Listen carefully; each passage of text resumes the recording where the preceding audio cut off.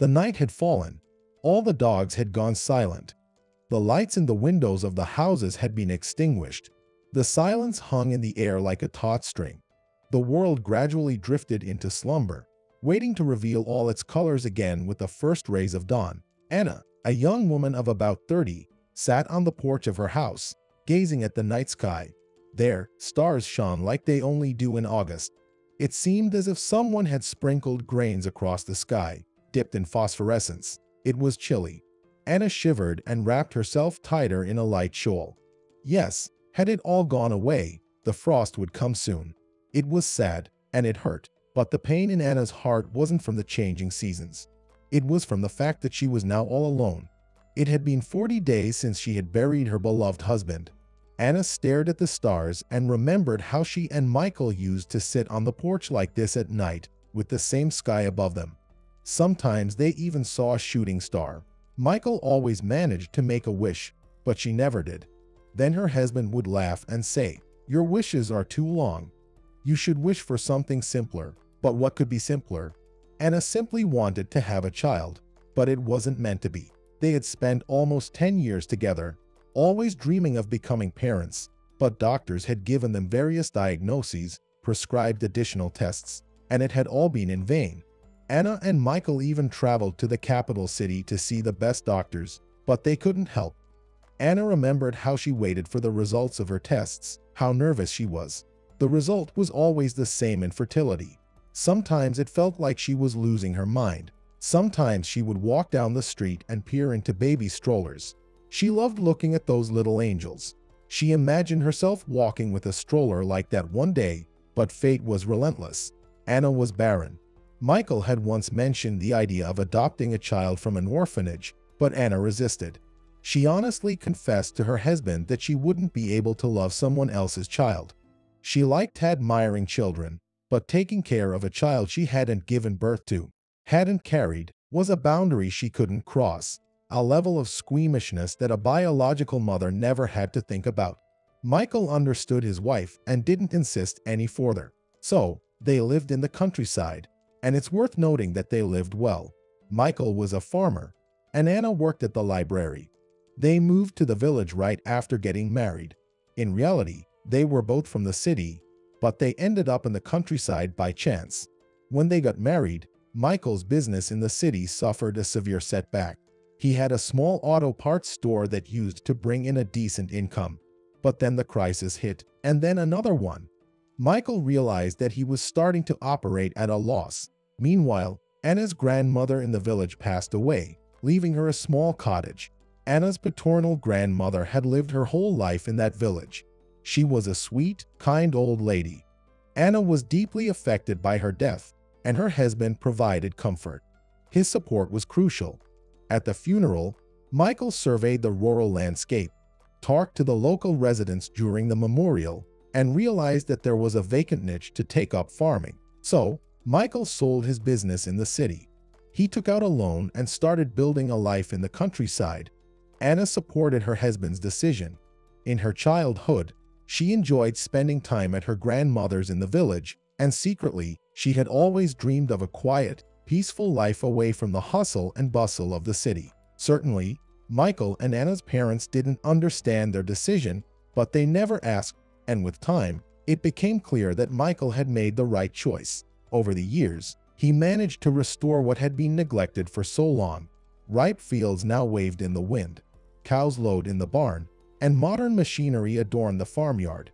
During the harvest season, a dryer hummed day and night, so loud that the entire village could hear it. But no one complained. On the contrary, people were happy because now there was work in the village, all thanks to Michael. Michael had boundless energy. Here on Earth, he suddenly realized that you didn't have to do business only in the city. Things could go well in the countryside too.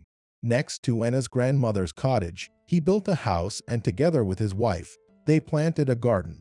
After the form, Michael planned to start another venture an orchard. Not just one with apples and cherries, but also apricots, pears, and grapes. For this, Michael started studying horticulture. He could spend hours reading specialized literature.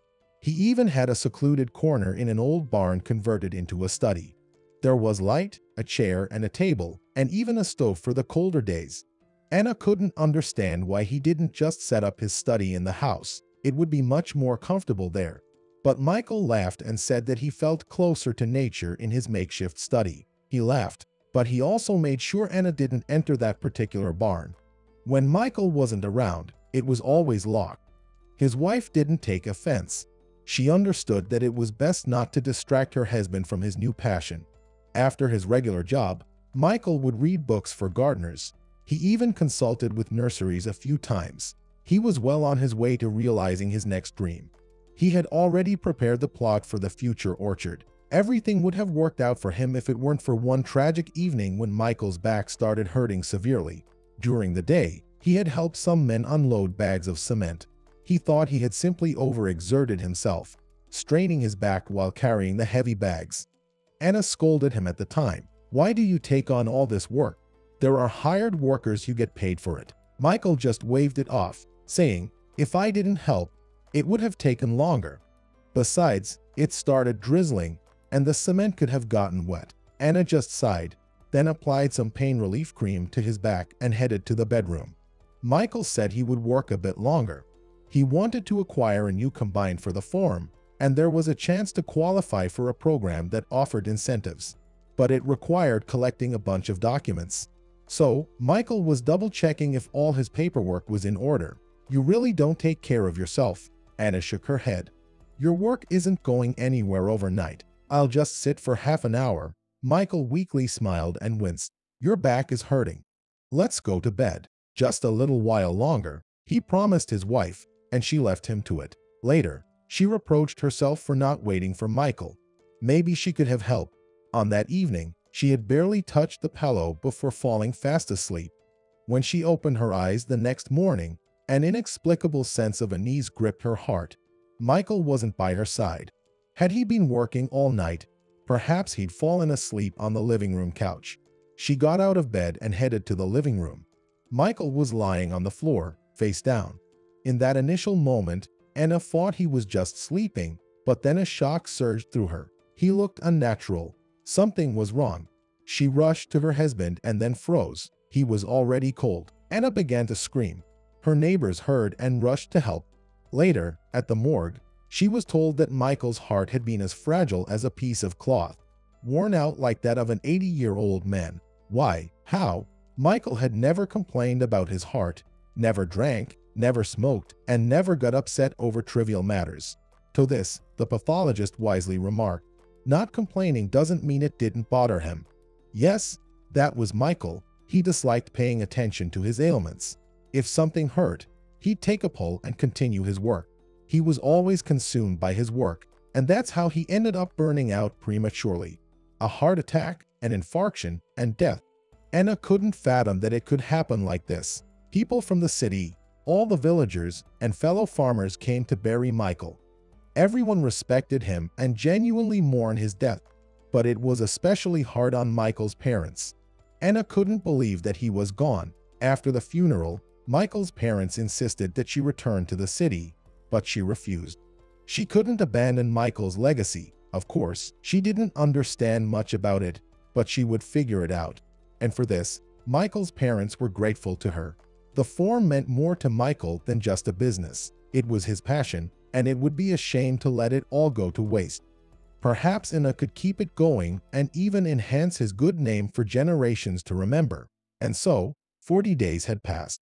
In the meantime, a manager named Joseph had been taking care of all the farm and field responsibilities. He had a wealth of experience in farming, having grown up in the area. Anna could rely on him. However, the woman was only now beginning to realize the immense burden she had taken upon herself. Anna stared at the night sky, her thoughts darker than ever. And then, high up in the heavens, a bright star fell. Interestingly, this time it seemed to fall for an exceptionally long time, or so it appeared to Anna. At least she had time to whisper her heartfelt words. What were they? She herself didn't realize immediately, and then she scolded herself. Why now, when Michael was no longer there, now she was alone, and that's how she would be for the rest of her life. She vowed to never think about this painful topic again, but her heart couldn't be stilled. That night, Anna whispered. I want a child. The star extinguished. Anna shivered from the cold. Such sharp temperature fluctuations in August. During the day, it was scorching, and at night, it was chilly. Oh well, as long as there were no frosts. It was still early. Anna sighed again, got up, and headed back to the house. She needed to sleep. Tomorrow, she had to hand over the library to the new employee, and then she'd have to go out to the field. Joseph was doing well, but Anna needed to immerse herself in the work too, and maybe that's for the best. There's hardly any time left for sorrow, and the heavy thoughts recede. But as Anna fell asleep, she still cried, remembering her husband, how she loved him, and she still loves him. All night, Anna dreamt as if she were cradling a baby. She could even sense the sweet scent from the baby's head. The baby looked at Anna and smiled, and she smiled back. She woke up with a smile on her lips. She remembered the dream and was surprised. Who was that, a boy or a girl? She couldn't tell. But the feeling of maternal happiness lingered as if she had truly held her own child, her own flesh and blood. Yes, Anna didn't know who it was, but she did remember the child's eyes, remarkably reminiscent of her husband's. Memories of Michael immediately wiped the smile from her lips. Yes, it was a good dream, but now it was definitely an unattainable one. Anna let out a heavy sigh, got out of bed, and went to the kitchen to prepare breakfast. In the kitchen, she grabbed the first cup she saw. Her hand froze. It was Michael's favorite cup. And this little spoon here, he always used it to stir sugar. While the kettle was boiling, Anna sat in what used to be her husband's seat by the window brought the spoon to her lips, and started to think. Maybe her parents were right, insisting that she return to the city. Everything here reminds her of Michael, and that's what hurts so much. It's painful to realize that she will never see him again, never hear his voice. The kettle had long since switched off, but Anna still sat there, staring into space. I'm not going anywhere, she finally said aloud, as if someone else might hear her, and reached for the kettle. After drinking her coffee, she quickly got ready and rushed to the library. There, waiting for her by the closed door, was Nina, the woman she was going to hand over her duties to. To be honest, Anna felt a bit apprehensive about this elderly lady. Nina had spent her entire life working at the village school, serving as the principal for many years. She was authoritative, a woman of few words, but when she spoke, it was always to the point. Everyone respected Nina, and her opinions were taken seriously. It had been three years since she retired, and she hadn't thought of working again until Anna decided to leave the library. Finding a new responsible worker in the village had been challenging, but no one wanted to dissuade Anna either. Everyone understood that if the farm were to fold, it would be tough for everyone in the village. They had been through that phase already. So, the chairman of the village council approached Nina with a request, asking her to take on the responsibilities of the librarian for at least a year. Nina fought it over for a bit and agreed. After all, who else but her? Take your time, Anna, she said instead of a greeting. Oh, I'm sorry, Anna replied, slightly out of breath. I didn't calculate the time properly. I overslept a bit. If you're going to lead our farm like this, it won't go well. I understand, Anna replied. Anna wanted to respond to Nina with something sharp. Can you really be so curt with a former school principal Besides, they would still have to interact a lot because there was plenty of work to be done in the library. Checking all the books against the catalog, waiting for the district committee, and completing all the necessary paperwork took time. In the end, Anna and Nina left the old log library as the sun was already setting. I didn't have time to go to the field today, Anna remarked sadly. I hope Joseph can manage on his own. He'll manage, Nina replied. You can rely on Joseph. He's a good agronomist and a competent manager, but he still needs an assistant. He's not very good with paperwork, and he hasn't learned how to deal with the higher-ups. Can you handle it, Anna? Yes, Nina, I can't let Michael down, she replied softly. That's the right attitude, nodded the former school principal, now the librarian. Then Nina looked at Anna attentively and added in a gentler tone, Dear, would you like to have a cup of tea? Yes, that's a good idea, Anna said a bit flustered. Come to my place. I haven't prepared anything, but we'll think of something. What's there to think about? We have hot water, and that's good enough. Nina replied cheerfully, giving a slight smile. Anna looked at her companion with different eyes now. She no longer seemed stern. Somewhere along the day's work, they had even become friends to some extent. Nina wasn't the harsh woman that many in the village called her. She was just an ordinary woman. She smiled kindly, almost like a mother. They entered the house. Anna bustled around in the kitchen while Nina wandered through the rooms. Michael built a great house, the guest remarked, entering the kitchen. Everything is so solid and well made. He was a talented man. And you're an excellent homemaker. It's so cozy here. Who needs this coziness now? Anna replied, barely holding back tears. I don't want to be in the house. Everything reminds me of Michael. Tomorrow morning, I'll go to the office and then to the field. That's good that you're embracing this new endeavor with such enthusiasm. But you shouldn't tear your heart apart Nina sat down at the table and looked attentively at her hostess. I understand it's hard for you right now, and everything reminds you of your husband. But you're doing it because that's what you want. Anna looked surprised at her guest, and Nina continued, First of all, get rid of all his things, hide them away. Secondly, why is Michael's photo still in the living room? But it's customary. Take down the photo. It's easy for you to say, Nina, Anna sobbed. How can I? It's like betraying him. These things, these photos, they're the only things that warm my soul. You're talking nonsense. Nina frowned, then sighed sadly. Is it easy for me? Do you know what I've been through? And over a cup of tea. The former school principal shared her own story. In her youth, back when she was studying in the city, she got married for the first time. She loved her husband to the point of madness. She was expecting a child from him and was planning to take an academic leave for that reason when tragedy struck her husband was hit by a car. He passed away in the hospital. Nina, on the other hand, had a miscarriage at a late stage of pregnancy. Afterward, the doctors made it clear she would never have children. The young woman was devastated. Her beloved was gone, and the meaning of life seemed forever lost. Then her mother came and took Nina to the countryside. Here, she gradually recovered, completed her institute studies through distance learning, and started working at a school. And one day, at a teacher's meeting in the district center, she met Bradley. He taught mathematics in another village, and he was a young and interesting man. Colleagues whispered, he's a widower. His wife died during childbirth, and he's raising his three-year-old son alone. When Nina learned about this, she felt so sorry for Bradley and the little boy she remembered her own story. After the meeting, they accidentally bumped into Bradley at a local cafe where Nina had stopped for tea. They smiled at each other. Polite Bradley suggested sitting at a nearby table, and they started talking about professional matters. That was the end of their first encounter. Later, they met several more times for work-related matters, and eventually, Bradley came to visit Nina. They had a heartfelt conversation. Bradley's mother also liked Nina. Nina herself realized that she was drawn to Bradley. In short, they celebrated Christmas together as a family of four, Nina, Bradley, his son Ryan, and his mother.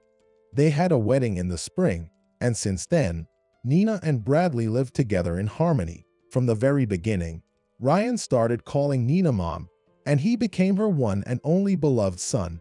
Many years have passed, and everything was going well for them. Ryan lived in the city now and was a high-ranking professional. He visited his parents with his wife and two daughters during holidays. Nina adored her grandchildren Anna eagerly awaited her son's visits. Wow, and exclaimed, I had no idea he wasn't your biological son. No one in the village ever told me anything about this. He's my true son, even though I didn't give birth to him. Nina smiled. People don't talk about it because it's something that's been forgotten. Maybe I became his real mother. Ryan knows everything, but it doesn't matter to him.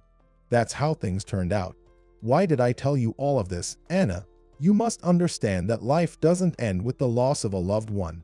And as she was leaving, Nina repeated the phrase, Anna, life doesn't end. Remember that. As Anna fell asleep, she couldn't help but think about the wise former school principal's words. And when she woke up in the morning, she prepared herself for her new job. Joseph was already in the office when Anna arrived. Happy first workday, Anna. The old agronomist smiled. Are you coming to the fields with me, or will you stay here? I'll stay here, Anna nodded. I want to study the documents. That's the right choice, Joseph agreed. I can handle the guys in the fields myself, but I struggle with paperwork. If you have any questions, ask Madeline. Madeline, an experienced accountant who had worked in the office for many years, helped Anna navigate through many issues in a single day. However, it was still clear that Anna's transition from a librarian to a farm manager wouldn't be easy. But all of a sudden, Anna felt a surge of determination and realized that she could do it. After all, there were good people around her who would help if needed. Yes, Michael had chosen the right team. Anna returned home in the evening, tired from dealing with documents, and her head was throbbing a bit from the paperwork. But this didn't shake her confidence as the new leader of the farm. She decided to take a short break and spend some time with the papers, just as Michael used to do. Yes, he never did buy that combine. Anna knew she wouldn't have time to arrange the paperwork for a discounted purchase now. But the winter season was ahead, and she needed to figure out how to keep the livestock safe and sound. Her farts were consumed by work as she crossed the threshold of her home. Then a wave of melancholy washed over her again. Once more, she was alone, and Michael's eyes in the photograph in the living room pierced her heart, making her want to cry. Anna remembered Nina's advice about removing all of Michael's belongings, and she decided to follow it. It was time to stop grieving. Setting aside the documents she had brought with her, Anna retrieved two large cardboard boxes from the storage room and began packing everything that reminded her of Michael his possessions, souvenirs, and even his favorite cup with a spoon. The last item she picked up was a portrait with a black ribbon. Goodbye, my love, she whispered and kissed the photograph of her husband before placing it in the box. Anna decided to take all the boxes to the shed that Michael had converted into an office. She took the key, turned on the lights in the shed, and entered it. It was her first time in the shed since Michael had rearranged everything. Her husband had this quirk. He considered this place his territory. Anna mentally apologized to the departed for intruding into his domain. Then, pushing aside all doubts and superstitions, she surveyed the room. She decided to place the boxes on the old cupboard that stood in the corner of this small office. Interestingly, from the inside, the shed indeed resembled a working office. Michael had lined the walls with plasterboard and painted them in a neutral color. He had laid a cheap carpet on the sealed floor. The furniture was old but suitable for a workspace. Michael had been skillful in organizing the space. Anna was surprised and wondered when Michael had managed to set up this office. She had always been busy with something, whether it was the library or household chores. Why hadn't Michael ever bragged about this decent office inside the shed? Why had he never let her in here? Placing the boxes on the cupboard, Anna sat down in thoughtfulness, gazing at the desk and offering a sad smile. There were textbooks on gardening stacked neatly, along with some thick notebooks. Anna picked up one of the notebooks and flipped through it. It turned out Michael had been taking notes and reading. There were also notebooks with what seemed like lecture notes. Apparently, he had taken them from former agronomy students. Anna placed the notebook on the table pushed it closer to the edge, and then heard something fall from the table. She leaned down to take a closer look. It was a key small, neat, and seemingly belonging to the desk.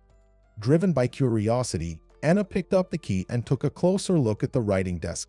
At first glance, there didn't appear to be any compartments that could be locked.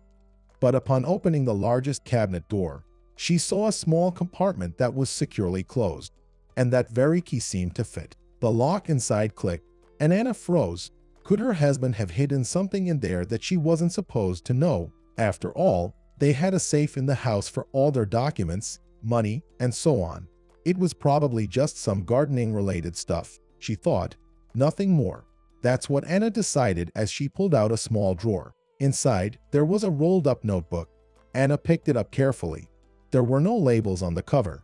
She opened the notebook and from the first lines, she understood that she had stumbled upon a secret, something Michael had kept hidden from her for all of their 10 years together. Anna couldn't fathom that her beloved husband, Michael, could be keeping something from her, but the writings told a different story. She read the diary with bated breath, page by page, as if devouring the information. It was Michael's personal diary. It is commonly believed that a man keeping a diary is something shameful or absurd. I used to think the same way, but then I realized that by putting my farts on paper, I could at least talk to someone, even if it's just myself. Because I can't share this with the person closest to me, my wife. That's how Michael's diary began. As Anna read her husband's diary, she realized that he had a different life, a different woman. Michael had known Elizabeth, the other woman, since childhood. They attended parallel classes and began their first romantic relationship in the ninth grade. After their graduation party, something happened between them for the first time. Michael deeply loved Elizabeth. He almost worshipped her. He even wanted to enroll in a law school to be with her, but he didn't have the required grades. Fortunately, there was an undersubscription that year at the Technical University, so Michael became a student there. However, he saw Elizabeth less and less, and it saddened him greatly, but she remained quite calm about it. Then, Michael saw her with someone else. A guy pulled up to her doorstep in an expensive car, holding a magnificent bouquet of roses. Elizabeth hung on his neck. At that time, Michael, a simple student, couldn't lavish such gifts on his beloved. But did fancy cars and flowers really matter? He approached them and just looked into Elizabeth's eyes. What do you want? The girl laughed. You're just a friend, and I truly love Max. A friend? Michael asked, swallowing his hurt. What about everything we had? Just an experience. Elizabeth shrugged and hopped into the car with Max. Hey, buddy, did you get it? Her new suitor condescendingly asked Michael. Elizabeth is mine. I wouldn't advise you to approach her again. He too got into the car, and they drove away, leaving Michael standing there, feeling utterly humiliated. Yes, he wanted to shout, to run after them, to throw something at their departing car, but he restrained himself. That evening, he got drunk for the first time in his life, so much that he couldn't remember anything. The next evening, he had a conversation with his father in the kitchen. His father tried to convince him that there would be many more girls like Elizabeth for Michael. His son disagreed. He truly loved her. But his father just sighed and shook his head. Time passed, and Michael no longer sought meetings with Elizabeth. She didn't seek them either. Soon he learned that his ex had married a rich man, the very Max. It hurt him deeply, and he decided that he would never let another woman into his heart like that again. Yes, he had relationships, but nothing binding. He chose simpler girls. After college, Michael ventured into business. Slowly but surely, things were starting to pick up, but on the personal front, everything remained the same. Then he met Anna. Honestly, at first, Michael thought she was just like any other girl. They would dabble in love a bit, and then he would move on. At first glance, Anna didn't captivate Michael in any special way. She was an ordinary girl, an art institute graduate, a future librarian. But then something clicked. Yes, Anna wasn't a beauty like Elizabeth, but Michael realized that he couldn't stop thinking about her. Her beauty wasn't just on the surface. Anna seemed to radiate from within, and her eyes Michael could drown in those deep blue pools. Yet, he still believed it wasn't love. True love was already in his life, and then, one day, he ran into Elizabeth. She and her husband had come to his auto parts store. Her husband, of course, didn't recognize him, but she. Elizabeth pretended not to recognize him. It was only when her husband got distracted examining the label on some expensive motor oil, that she quietly asked, You live all alone? And she smirked condescendingly. I'm getting married soon. Michael replied immediately. Why did he say that? Probably out of spite. No, he had no intention of marrying Anna. But when Elizabeth heard his answer, she just shrugged. That irritated Michael. Oh, she doesn't care anyway, and neither does he. That same evening, he proposed to Anna. God, how happy that girl was. Michael wrote in his diary, It seemed like she looked at me as if I were a god, and I felt a bit ashamed. I swore my love to her, but there was emptiness inside me. I loved someone else at that time, and later, when I left the registry office with her, and later, when I held her at night. Everything changed when Michael's business encountered its first problems. Anna sincerely cared for him, trying to comfort and support him. That's when he made the first comparison. How would Elizabeth have reacted in this situation? She would have run away without a second thought. But Anna was there, unafraid of poverty or difficulties in the countryside. She was ready to go anywhere with him. It was in the countryside that Michael finally realized he truly loved Anna. That's where he saw her true beauty, not just her captivating eyes, but her delicate skin, thick chestnut hair, and slender waist. Or had she become even more beautiful with time? And Anna was an excellent homemaker. She cooked deliciously, their home was always cozy, and she never complained, not even during financial hardships or rural challenges. At night, Michael held her with special tenderness, and during the day, she worked tirelessly. Now, they no longer knew any need. Their home was picture perfect, and Michael was a respected man. Yes, he wanted children very much. If Anna's problems had surfaced at the beginning of their life together, he would have left her without a second thought. But now, he couldn't, because without Anna, his life had no meaning. Then, two years ago, he unexpectedly ran into Elizabeth again. Michael had gone to the city for another batch of spare parts when he suddenly saw her walking down the sidewalk. Yes, he recognized her instantly, even though she had lost some of her usual luster and looked somewhat weary. Michael pulled over. He didn't understand why he did it. Perhaps he wanted his former lover to see his expensive car, and he looked presentable himself. Elizabeth recognized him, and she had indeed changed over the years. Hello, she said hesitantly. Hello, he smiled. Need a ride? Elizabeth agreed, and as they sat in the car, a conversation started. Elizabeth explained that her husband had left her, leaving her with no money, and she hadn't finished college. Now she worked as a cashier in a supermarket. How about you? Elizabeth asked timidly. I'm doing great, Michael replied with a smile. Are you married?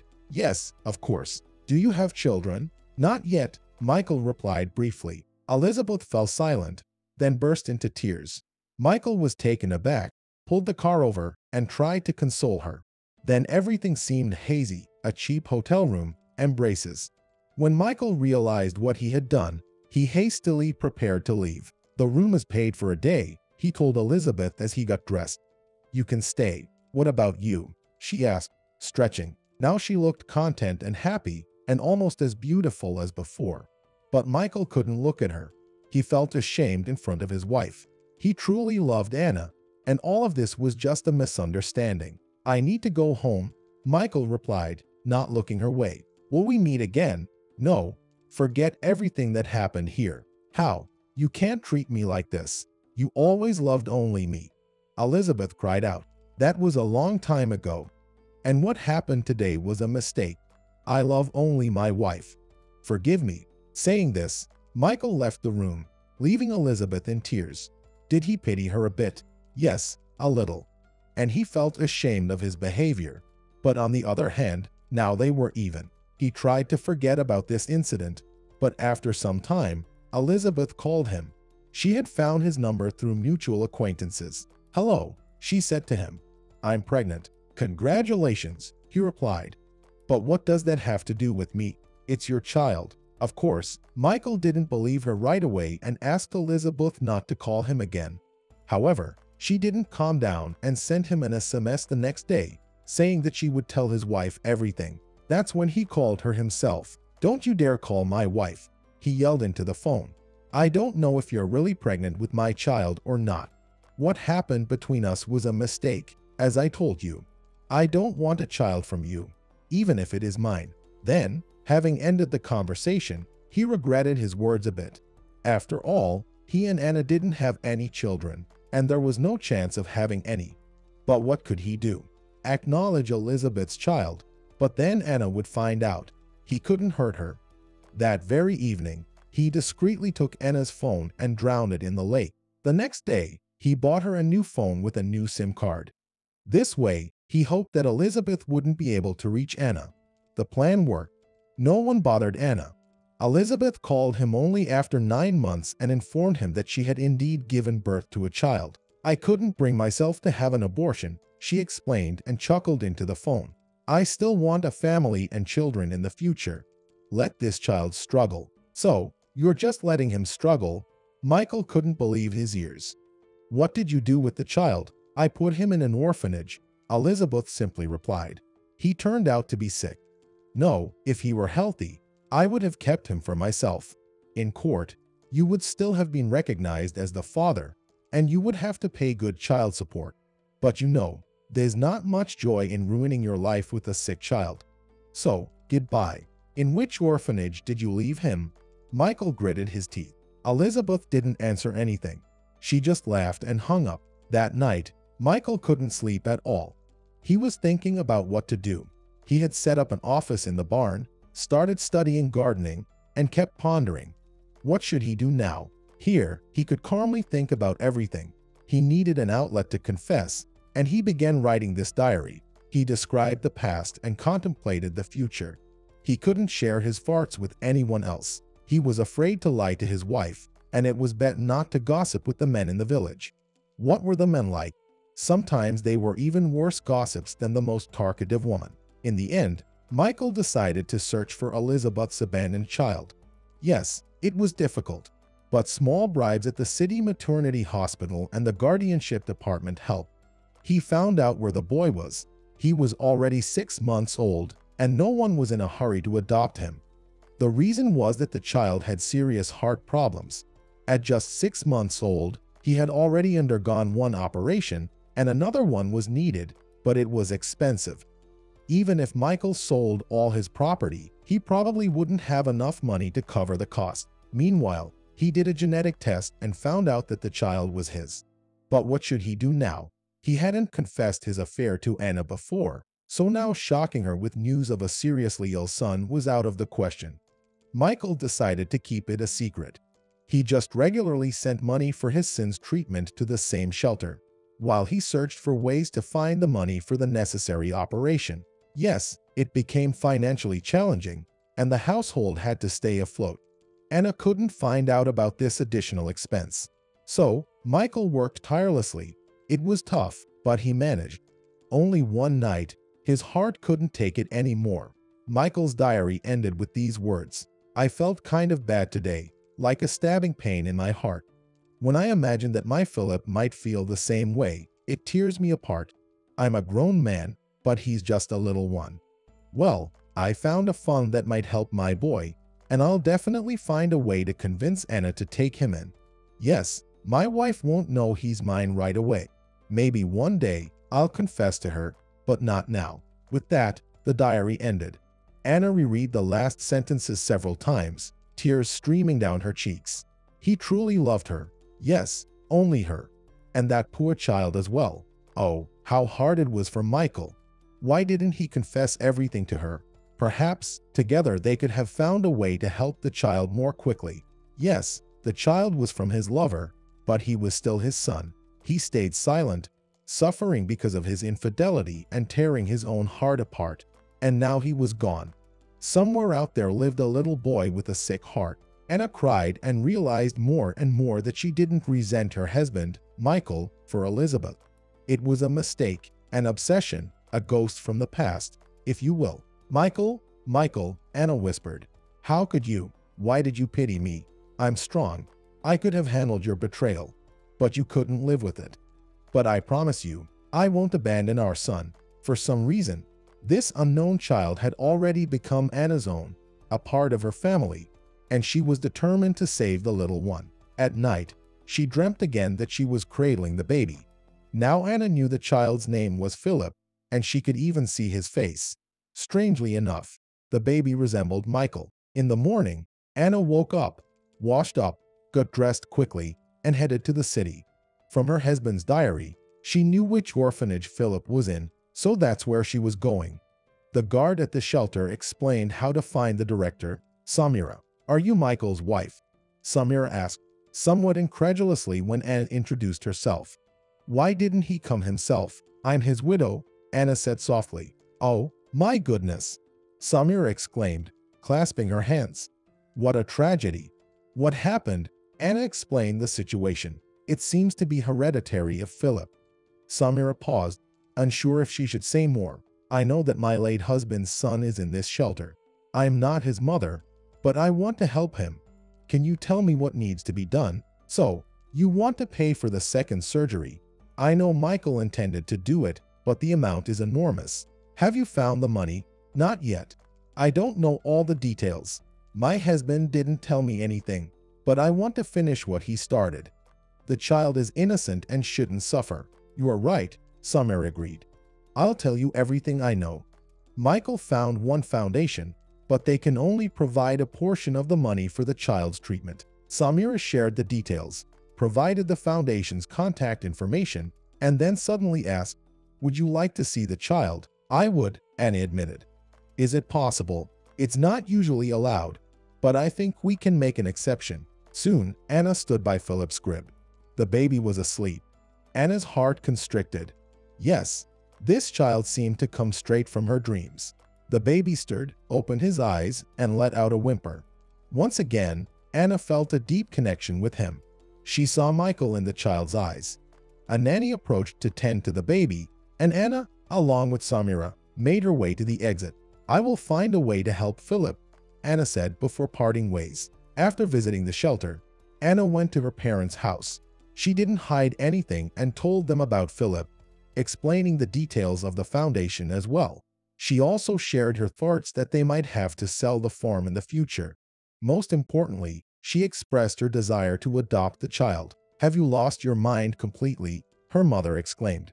This isn't your child, and you've decided to sacrifice everything for this. How will you survive on a librarian's salary? Mind you, you've already lost your place in the village, and you haven't found one in the city yet. Didn't you persistently invite me to the city after Michael's death? Anna reminded her. I did, but not with someone else's child. This child is Michael's, conceived in infidelity. Betrayal to you. Mom, I know he regretted everything. Besides, you know my problems. And this child is from someone I loved, but now he can't help you in any way. How will you manage alone with a child, without money? I'll figure it out somehow. I'm shocked, her mother exclaimed, even more angered, and called her father from the other room. Dad, you have to talk some sense into her. She's doing the right thing, her father responded, appearing in the kitchen a few seconds later. I liked Michael. People make mistakes. Who doesn't? And women like Elizabeth. They don't inspire jealousy. They inspire contempt. So, daughter, do what you think is right. Your mother and I will support you, Anna's mother let out a heavy sigh at her father's response but remained silent. In the end, they decided everything for her, and perhaps it was the right decision. Anna hadn't planned to adopt Philip until recently. She had thought she couldn't love a child who wasn't her own. But when she saw Philip at the orphanage, so small and vulnerable, her heart trembled. It didn't matter who had given birth to him. She would be his mother, caring for him, looking after him, and loving him. From her parents, Anna went to Michael's parents. They were surprised to see their former daughter-in-law on their doorstep, then hurried to prepare the table for her. You don't need to do anything, Anna stopped them. I have a serious matter to discuss with you.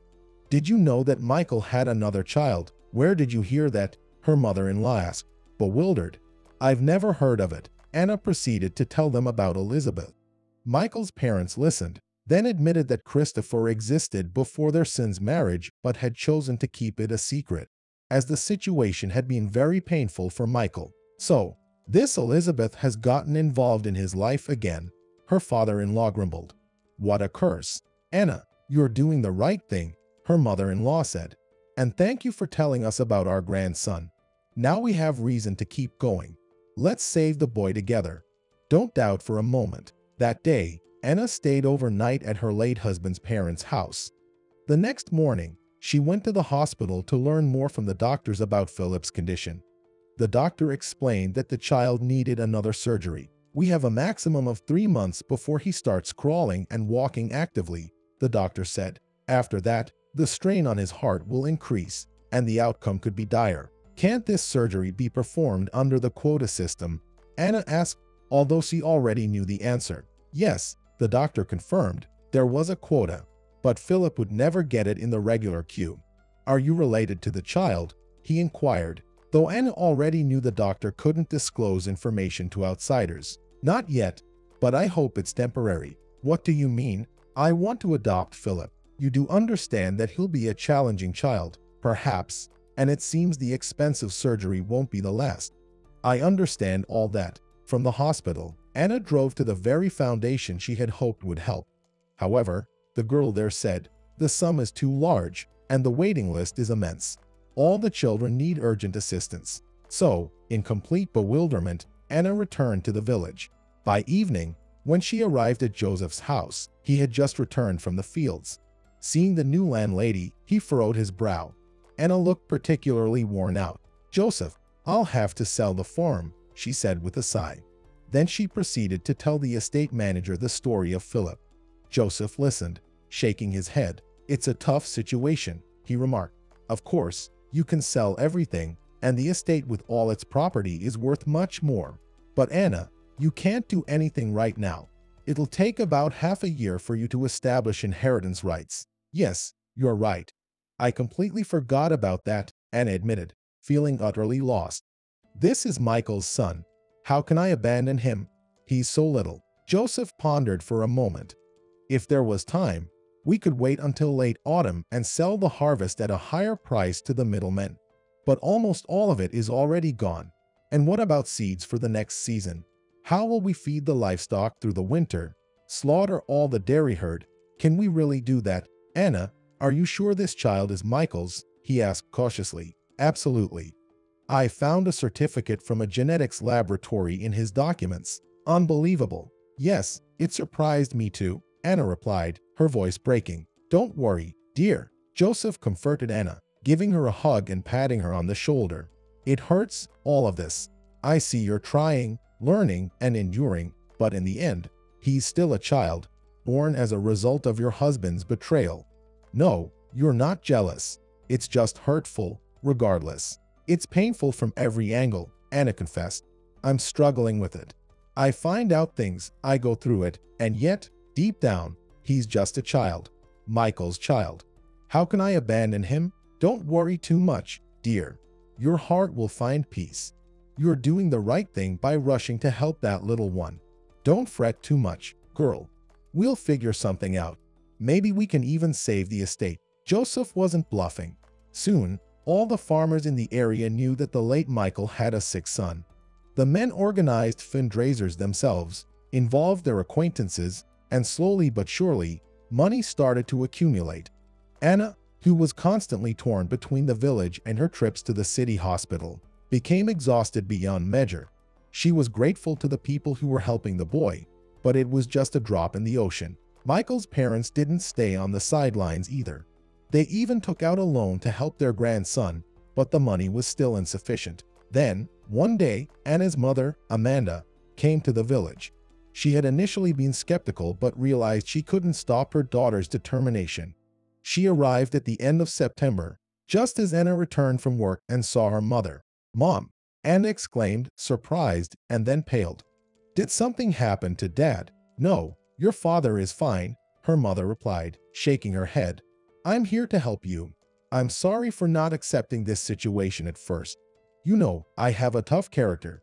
I wouldn't have forgiven the betrayal, but you're different. I see that you're fighting for this little one. Relatives were calling me, telling me they had seen the boy. He truly resembles Michael.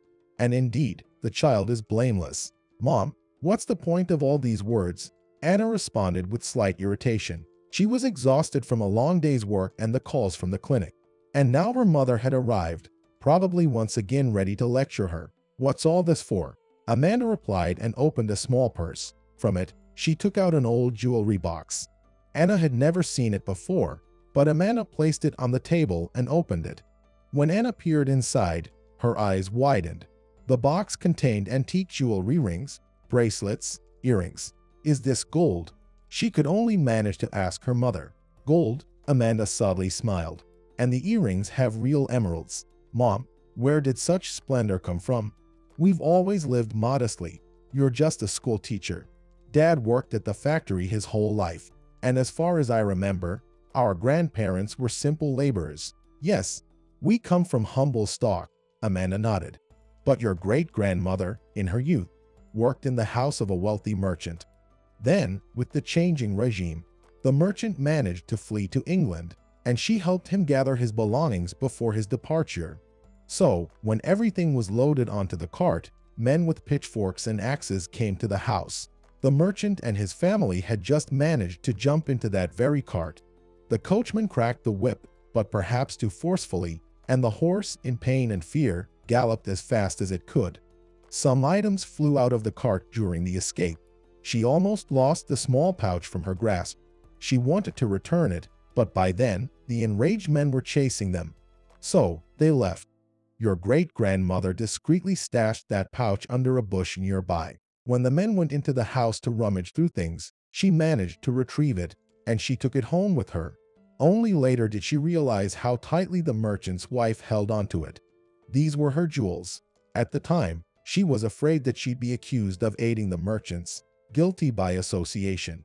But then she decided that she'd let the owners come for their belongings. She genuinely intended to return them. However, years went by, and she married a good man. One day, she confessed to him that she possessed a real treasure. Her husband scolded her, asking why she didn't immediately return it to the new authorities. But now, how could she explain where it came from? So, he scolded her, and then he buried that jewelry box in an iron barrel in the garden beneath an apple tree. It remained there for many years. Then, the war came, and her husband went off to the front. She struggled to survive in the city with her daughter. Times were tough. One day, she decided to make use of the treasure. She dug up the box, selected some less conspicuous pieces, and exchanged them for food at the market. But a week later, she learned that her husband had died. She cried, blaming herself, thinking it was because she took something that wasn't hers, even though her own belongings were taken from her. She reburied the jewelry box and never retrieved it again. Shortly before her death, she told her daughter about the treasure buried beneath the apple tree but strictly instructed her never to use that wealth since it was considered stolen property. Amanda's mother had remembered her own mother's words throughout her life, and she had only shared the story of the jewelry box with her daughter before her own death. Once again, she emphasized the importance of not touching the jewelry. What if the rightful owners showed up one day and no one must speak of it to avoid trouble? Amanda had always felt a superstitious fear associated with that box. At their country house, she often cast glances at the spot where the apple tree had once grown.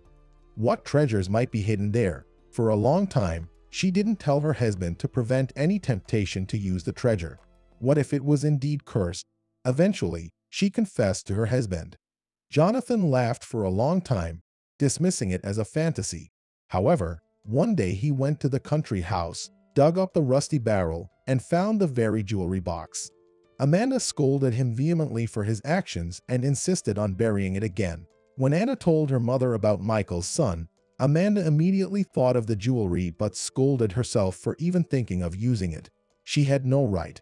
However, recently, she had a strange dream.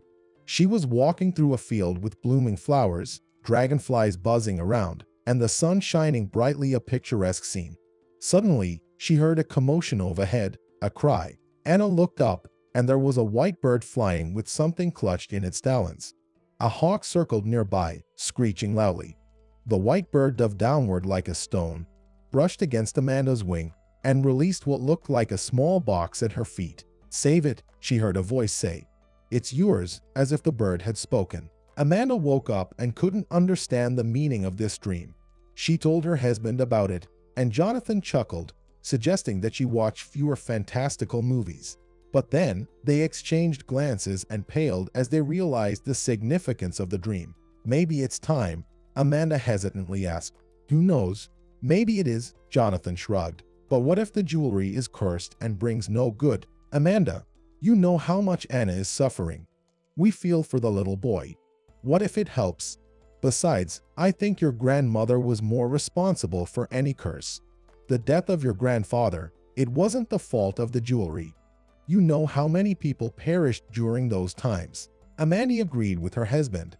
They went to the country house the next day and dug up the jewelry box. Then Amanda visited her daughter. Now, sitting at the spacious kitchen table with her daughter, they discussed their next steps. To be honest, Mom, you surprised me. Anna shook her head. I don't believe in curses, and these jewels could indeed help save Philip. But how do we use them? We'll need to find a way to sell them. I'm thinking the same thing, dear. We need to find a trustworthy person. Do you have anyone in mind? Anna shrugged. She didn't really have anyone in mind, except maybe Joseph, Michael's loyal helper and friend. He shouldn't let them down. The following morning, after seeing her mother off at the bus stop, Anna headed to the office. Joseph was having a heated discussion with the accountant in his office. Hello, Anna. Hello. Anna replied and glanced questioningly at Joseph. We need to talk. Come to my office. The manager obediently followed his employer.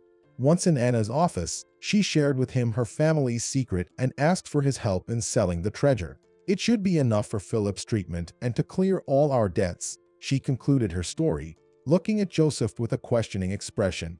Can you help us, Joseph? We need to find the right person. I understand we could just turn it in like a treasure and get our 25%, but how much time would that take? Philip needs surgery urgently. Joseph promised to help and within a couple of days, he informed Anna that he had found the right person.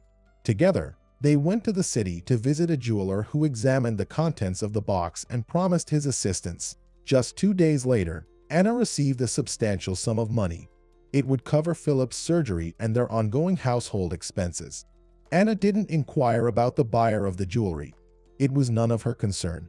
The jeweler mentioned that a very wealthy individual had purchased them Anna hoped that whoever owned them now would put them to good use, while she focused on saving Philip. Soon, the operation for the little boy was performed at one of the city clinics, and he quickly recovered. By New Year's, Anna was able to bring Philip home legally. She adopted him as her own child, although the child welfare authorities had suggested she obtain legal guardianship for financial benefits. Anna firmly believed that Philip was her child, and she could raise him herself without any support from the government. She was confident she could manage, as it wasn't about the money. Three years passed, and Anna and Philip lived in the countryside.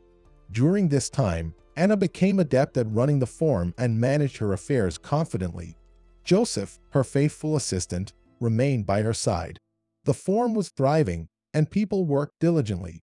Anna was content, and she knew her husband would be proud of her. Michael would have been delighted to know that Philip was now with Anna, alive and well. Philip attended daycare, and he was a bright and lively little boy. Anna couldn't have been prouder of her son. Philip enjoyed reading poetry and enthusiastically sang songs during morning gatherings at daycare. He was always the most active and the most artistic. Anna cherished her son's achievements, and Philip adored his mother. He often picked flowers from the garden to present to her, despite the numerous scraped knees he endured while chasing butterflies to catch as gifts for his mom. Anna never scolded him for the flowers. Instead, she would sigh and smile. She would tend to his scraped knees, blowing gently on the wounds, and he would patiently endure, wrinkling his face in annoyance. After all, he never actually caught a butterfly, but he knew how happy it made his mom. When you see a beautiful butterfly, just call me, and we'll admire it together she would tell him. Philip nodded in understanding. Oh, how many times Anna chased butterflies with him. Not all of them were as beautiful as he thought, but Anna would exclaim in awe, whether it was a cabbage white or a common mote. Philip would smile, happy to have pleased his mom. Anna lived for her son, and he was her sole focus. She paid no attention to men, even though other farmers and local officials often noticed the young and attractive farmer. For a while, the head of the district showed particular interest in her. Anna didn't know how to decline his advances without offending him or making an enemy. If only he were a young, unmarried man, but he was already past 60 and had grandchildren. Joseph helped out then, several times, in front of the district head, he would take Anna's arm or whisper something in her ear. She understood her devoted manager's message and played along. Eventually, the district head interpreted it in his own way thinking that the young farmer was already taken. As he had a friendly relationship with Joseph, he decided not to interfere further. Over time, he became less interested, and there was no need for Anna and Joseph to pretend to be secret lovers anymore. Anna had no use for anyone else in her life. Philip grew up in love and care. Michael's parents often visited them to see their grandson, and occasionally Anna's parents stopped by as well. The little boy was showered with attention and affection, only occasionally did the five-year-old ask his mother, Where's my dad? Our dad is in the sky. Anna would sigh and hug her son. The boy would look up at the sky, trying to understand where his dad might be hiding and why. After all, other kids had their dads nearby. This was the only cloud on Philip's otherwise sunny existence. Don't be sad, my little one, Anna would tell him. I'm right here. And the little boy would tightly hug her around the neck. Mom, I love you so much. Philip would whisper in her ear, and she would embrace him. In those moments, she was the happiest woman in the world. Being a mom was the most important thing to her. Often, after putting Philip to bed, Anna would sit by the window and gaze at the stars. She would remember her past life with Michael. Yes, they had been happy, and it still hurt a little that he was no longer there and would never be again. Perhaps Anna would have gone mad if Philip hadn't miraculously appeared in her life. Yes, on one hand, she should have been angry with her husband, accusing him of betrayal. On the other hand, was it really betrayal? Anna was grateful, grateful to her husband for his mistake. It was that mistake that allowed her to become a mother, even if it happened in an unconventional way. Anna was even grateful to Elizabeth for leaving the baby at the orphanage. Otherwise, she would never have met Philip. Now he was her most dear, most beloved, the most everything. It happened in mid-November on a day off. The first snow had fallen. Anna had prepared dough for pies early in the morning. When Philip woke up, the house was already filled with the aroma of delicious pastries. Pies? The boy asked, peering into the kitchen, rubbing his sleepy eyes. Pies? Anna smiled, taking a tray of fluffy apple pies out of the oven. Your favorites, with apples.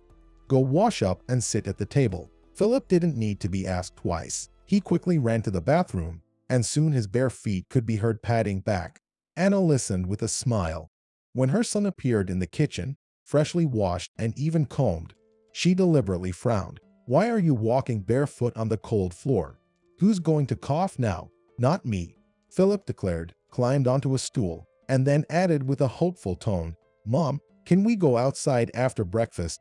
There's snow. Yes, winter has arrived. Anna maintained her stance. But do you want forgiveness? Oh, Mom, the boy pouted.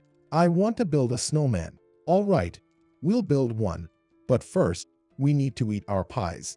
Philip grinned with joy and swung his bare feet back and forth on the stool. Anna sighed, fetched a pair of slippers for her son, and slipped them onto his feet. Then she kissed him. They enjoyed breakfast together, and after finishing, they got ready to go outside. The backyard was a winter wonderland. Fluffy snowflakes covered everything trees, fences, buildings. It seemed like everything was enveloped in a lace blanket. Simultaneously, it felt warm, and the snow on the ground was soft and malleable. Anna and her son built snowmen, occasionally pelting each other with snowballs. They laughed and played. Unnoticed by them, a dark foreign car had parked near their house, and a man around 35 years old had gotten out. He watched Anna and Philip playing with a smile before opening the gate. When Anna heard the click of the latch, she turned her head and raised an eyebrow in surprise. She didn't know this man. Excuse me, are you Anna? The man asked uncertainly. Yes, and who are you? Anna replied cautiously. I. How should I put it? An heir. An heir. Anna was surprised. What do you inherit in my house? No, you didn't quite understand me, the man stammered. I came to talk to you about the jewelry. Anna paled slightly. She was ready to deny everything, but the man spoke before her. No, no, don't think I have any claims against you. I just want to know. But first, allow me to introduce myself. I'm Christopher. I'm the great-grandson of the merchant. Upon hearing the name of the merchant whose jewelry Anna had sold several years ago, the woman turned even paler, and the man, noticing her reaction, hurried to explain. Christopher was born and raised in the capital. His parents had told him the story of his great-grandfather, who had lived in a small town and worked as a merchant. Eventually, they had to flee with their entire family to escape the new regime. Their plan was to reach England, but they lacked the finances. The merchant had hoped to use his wife's jewelry to cross the border, but she couldn't save them when they were fleeing their estate. So, they had to hide in Siberia. For several years, he lived with his family in the forest, hiding from the authorities. But they were eventually found, though by then, the great-grandfather was gravely ill and soon passed away. The new regime did not persecute the widow. In fact, they invited her to work in the collective farm. Later, her children worked in the same collective farm, and through honest labor, the family proved their reliability. Much happened in Christopher's life thereafter. Eventually, his father was able to leave for the capital, where he studied, got married, and started a family of his own. Christopher himself knew very little about his ancestors, except for a vague family legend that there had been some precious jewelry in his great-grandfather's possession. Christopher pursued a career in history and became a professor at one of the capital's universities. One day, during an exam, an unusual incident occurred. One of the students couldn't answer the simplest question. Christopher shook his head in disappointment and told her that she'd have to retake the exam, and this time, before the committee. The girl burst into tears and suddenly reached for her earrings, taking them off and placing them in front of the professor. These are rare earrings, she tearfully said, Please, take them, but give me a passing grade, please. Christopher looked at the distressed girl with anger, ready to reject the bribe when he noticed an engraving on the earrings. Memories of his father's stories and his family history rushed back to him. Curious, he asked the student where she got the earrings. After calming down a bit, she explained that her father had given them to her. He had bought them at a high price at an auction. Christopher was intrigued. Could these be the same jewelry that his great-grandmother had lost? He asked the student for her father's phone number, gave her the passing grade she wanted, and took possession of the earrings. Don't give away such valuable gifts so easily, he advised her as she left. The ecstatic girl happily left the classroom, and Christopher immediately called her father to inquire about the auction. Later, he went to visit the jewelry's owner, who turned out to be a jeweler. Gradually, he gathered all the information and eventually learned about Anna. Do you want money? Anna asked when she understood what Christopher was looking for. To be honest, I wouldn't refuse. Christopher smiled. But mainly, I came here to find out how these pieces of jewelry ended up with you. Anna then shared her story, though not all the details, focusing on how she had used the jewelry to finance her son's life-saving operation after her husband's death. Well, I'm pleased to know that these pieces of jewelry helped save your son's life. Christopher smiled. Now I'm absolutely certain that this is not a made-up tale but a true story. You don't have to worry. I won't ask for anything from you. You did the right thing. As for the jewelry, let them bring joy to someone else now. I lived without them, and I'll continue to do so. Anna looked at her guest with surprise. What a noble person he was. She invited him into her home and served him pastries and tea. Philip was by her side the entire time. You have a charming little boy, Christopher remarked. I think he takes after you. Anna blushed slightly and smiled. Of course, Philip didn't resemble her. He looked more and more like Michael as he grew older. But that didn't diminish his significance as the most beloved person in Anna's life. Christopher stayed a while longer, thanked Anna for her warm welcome, and bid her farewell. Anna spent the rest of the day pondering. What an eccentric person, she thought. He traveled hundreds of kilometers just to learn about the past, and so noble, too. He could have demanded money from Anna, but he didn't. Winter passed, and spring arrived, filled with its dinkling and bustling. The village came to life as people busied themselves in their yards and gardens. Anna worked tirelessly, often staying late into the night, whether at the office, in the fields, or on trips to the district center. Philip attended kindergarten in the morning, and in the evenings, a neighbor would pick him up as per their agreement. The neighbor found it easy and enjoyable to look after the little boy. Her own children had long moved to the city, and her grandchildren visited only once a year. She cherished the time spent with Philip. One day, after kindergarten, the neighbor brought Philip to her house, where she engaged him in another coloring activity. She then headed to the garden to plant some carrots. Suddenly, the neighbor noticed a taxi stopping near Anna's house. A slim, young blonde woman stepped out of the car and confidently walked toward the yard. Who are you looking for? The grandmother called out. Anna is still in the fields. In the fields, the stranger pursed her lips. I see. Can I help you with something? No. I'll come back another time. The stranger got back into the taxi, which promptly sped away down the dusty road. The neighbor didn't even get a chance to ask who she was and why she had come. When Anna returned to pick up her son, the neighbor relayed everything to her. A blonde, Anna was surprised. I have no idea who that could be. Well, I guess we'll find out next time. A month passed. After the planting season, there was a brief respite for the villagers, and Anna finally had a chance to relax. One day, she decided to take Philip to the lake for a swim. They had just stepped out the door when they encountered a woman on the path. She was tall, slender, beautiful, with light hair. Anna immediately recognized her as the same blonde woman the neighbor had mentioned. But who was she? I'm Elizabeth, Philip's mother, the woman said without greeting. She didn't even glance at the boy standing beside Anna. The guest fixed her gaze on Anna, leaving her perplexed. Why have you come? Anna asked quietly. I want to take my son, Elizabeth replied, smirking.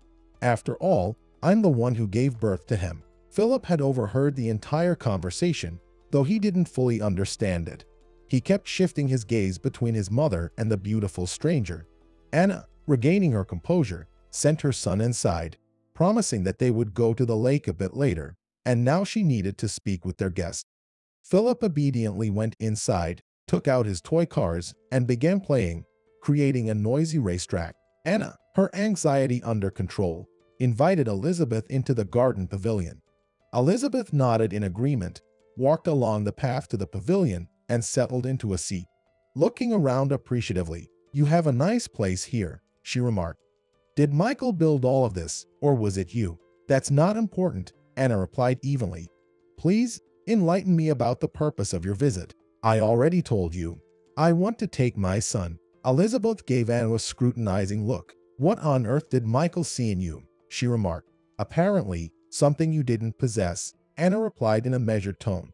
She continued, And why did you assume you have any claim to my son? I found out everything. You adopted him from an orphanage. Even if that's true, no court will give you the child. You rightly pointed out that I adopted Philip after you abandoned him at the maternity hospital. I didn't have the money to treat him, Elizabeth said, her voice slightly shrill. And it's not your place to lecture me on how to live. I'm not lecturing. I'm just not giving up my son. Leave here. She stood her ground, facing Elizabeth with her arms crossed. She was resolute, at any moment, she might grab this audacious woman by the collar and throw her out of the yard. Why do you need someone else's child? Elizabeth taunted with a smirk. Can't you have your own? That's none of your business. He is my child and my husband's. Oh, come on. Elizabeth laughed heartily. I'm particularly amused by how you say my child. How is he yours? Besides, Michael has nothing to do with him. That's where you're mistaken. Anna smirked too. Michael had a paternity test done. I saw the results myself. He is Philip's father. That's not the truth, Elizabeth said, crossing her legs comfortably. She went on to tell Anna how it really was. By the time she had slept with Michael, she was already pregnant. The term was short, and the child's father immediately distanced himself. Then Michael appeared, successful and self-assured, even though he was married. But Elizabeth was convinced that Michael would believe her. After all, he couldn't have forgotten his first true love her, Elizabeth. Michael, noble as he was, wouldn't abandon a pregnant woman. Yet, he began talking about his love for his wife and how his night with Elizabeth had been a mistake. Maybe Elizabeth wouldn't have given in so easily, but then the real father of the child showed up again. He, too, was a wealthy man. Perhaps everything would have worked out between them but he tragically died in an accident, and Elizabeth was left alone, carrying the child under her heart. She felt sorry for herself. Everyone had deceived her. Why did she need this child now? She needed to survive in this cruel world. But when the hospital informed her that the child had health problems, her decision was final. She decided to give up the baby. But her resentment toward Michael remained. She told him she had given birth to his child and abandoned the baby. Why? Just to torment this noble gentleman, to make him suffer, maybe even go bankrupt. Elizabeth knew how much the surgery cost. It was a fortune. Michael had to sell everything to save the child.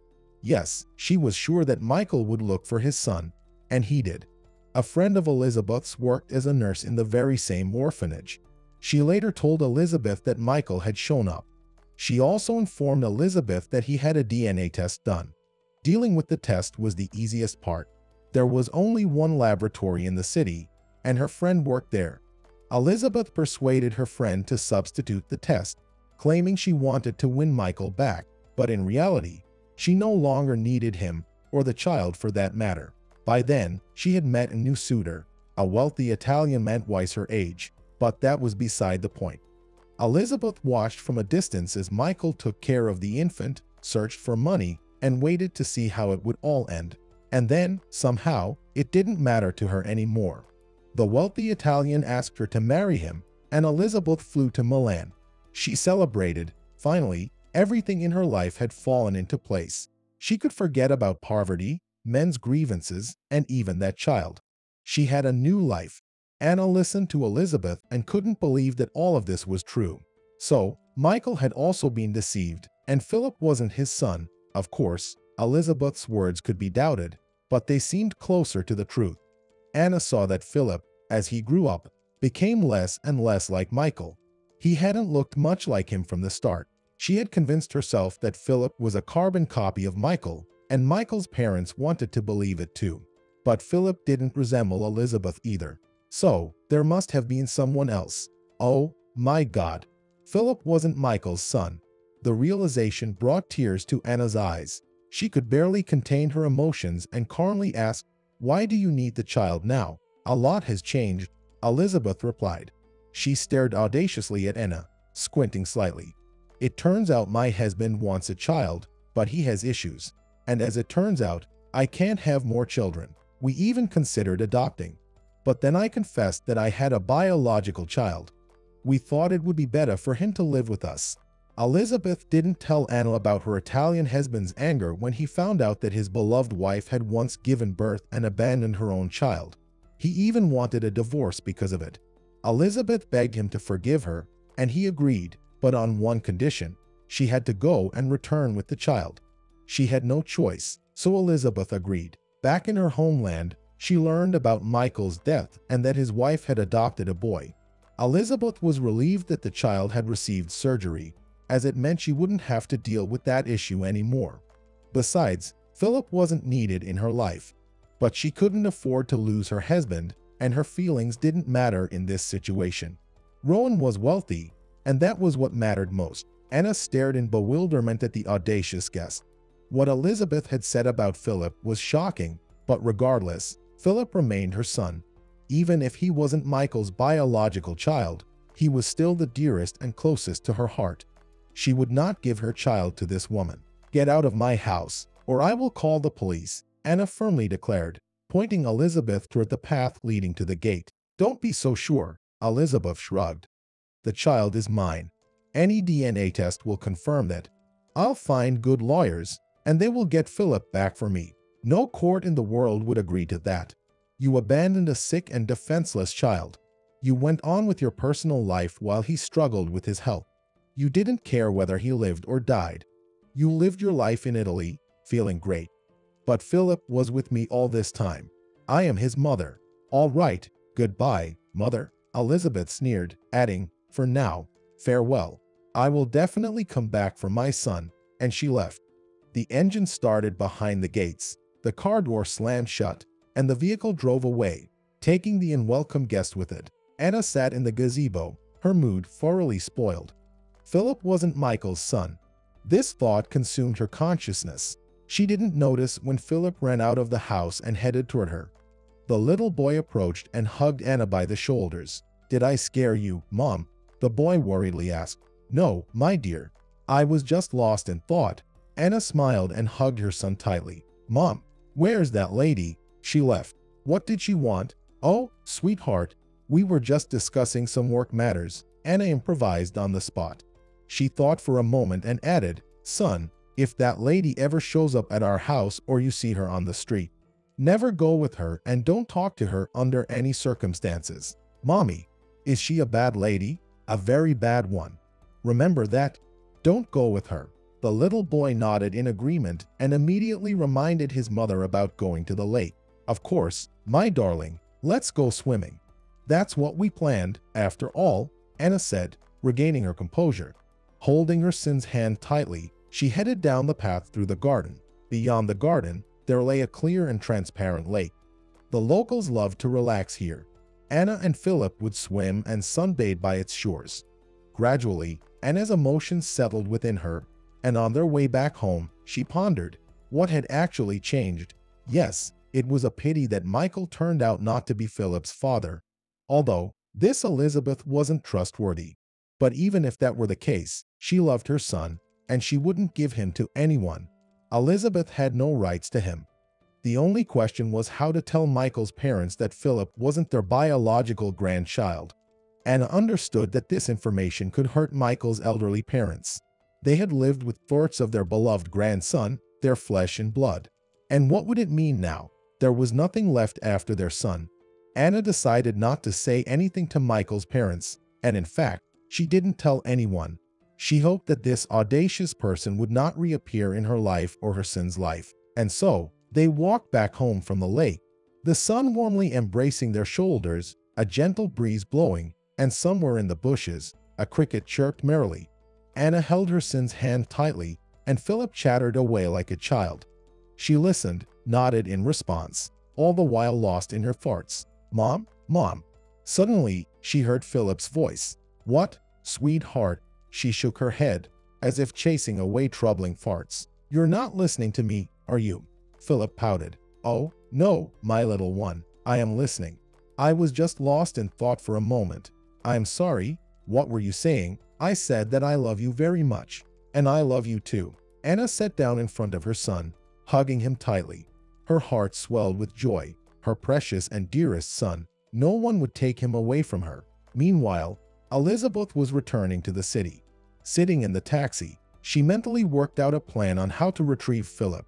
In truth, Philip held no interest for her. She had only glimpsed him there, in the village, and only noted that he resembled his late father, who had died in an accident. She fondly remembered Anna's reaction when she found out about the fake DNA test. Anna had tried to appear calm but almost burst into tears. Elizabeth found it amusing and satisfying. She had managed to hurt her rival. After all, Michael had chosen her back then, so now, let him deal with the consequences. But how could she get Philip back? Elizabeth understood that she would face difficulties in court. Even the most skilled lawyer would be hesitant to take on such a case. She had hoped that Anna would voluntarily give up the child upon learning the truth, but that hadn't worked out. Anna had become attached to the child. Something needed to be done. Elizabeth had been thinking and planning for a month, ever since that first trip to the village when she didn't find Anna at home. And now the encounter had taken place. Action was needed. In the city, Elizabeth stayed in the most expensive hotel suite. She could afford it. Rowan hadn't imposed any restrictions on her finances so far. Of course, she could have stayed in her mother's apartment, where she had grown up, but the thought of her past life disgusted her. She had a new life now, and she would fight to keep it. Elizabeth didn't even call her mother to announce her arrival. She considered it unnecessary. Sentimentality was of no use to her. During the month she had spent in the city, Elizabeth preferred to revel in her superiority. She enjoyed throwing money around, noticing the admiring glances of the staff. After her second trip to the village, she called that same friend you had once helped her with the genetic test. Alexis still worked at the laboratory. Upon hearing her old friend's voice, Alexis tensed slightly. What did she want now? She had tried to forget that story and didn't want to have any more dealings with Elizabeth because she knew that wherever Elizabeth was, Trouble followed. But her friend chattered away on the phone, saying that she had just flown in from Milan for a week and wanted to meet up. In the end, Alexis agreed. They met at a cafe, sat down, and had a pleasant conversation while Alexis waited for her friend to get to the point. Finally, Elizabeth was ready. Alexis, would you like to go to Italy? I can introduce you to a very influential man there. My Rowan has a friend. He's over 60, but he looks really good and he's incredibly wealthy, not to mention a widower. Elizabeth winked conspiratorially. I think he'll like you. We can go shopping together. Relax. So, what do you say? I'm quite happy here.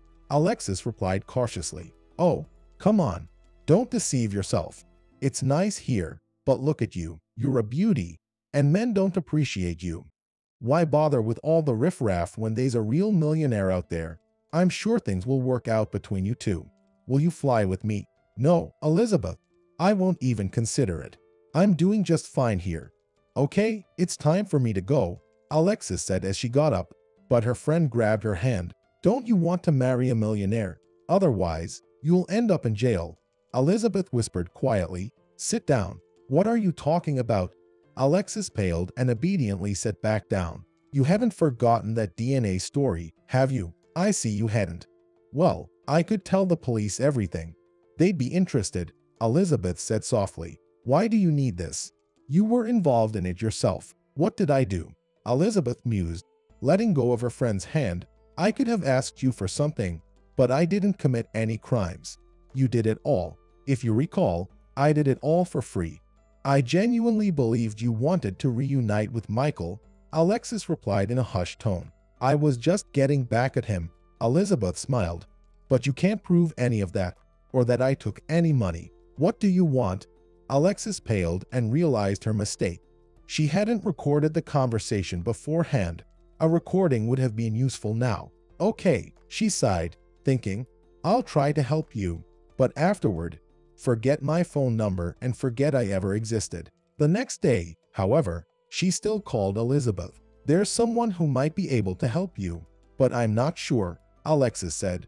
You should call him yourself and talk to him. And she dictated a phone number over the line. This individual was a criminal figure in the city. He had visited the clinic when he suspected his wife of infidelity and believed that his son might not be his own. The man's suspicions turned out to be groundless, and he left the clinic reassured, but his phone number remained unrecorded. Alexis had heard whispers from the nurses about this man's activities but hadn't paid much attention to them, considering them mere gossip. Now, she remembered, found his number in the files, and gave it to Elizabeth. Let her talk to him herself. This criminal figure was named Stephen. He was indeed a complicated individual. When an unknown woman called him and arranged a meeting, he initially thought it was another lady looking to settle scores with her husband or lover. However, when Elizabeth explained what needed to be done, Stephen initially refused. Dealing with international transportation was quite troublesome, but when Elizabeth mentioned the fee, he reconsidered. All right, let's give it a try. He eventually agreed. That morning, Anna woke up very early, feeling a sense of unease. She stretched and sighed deeply.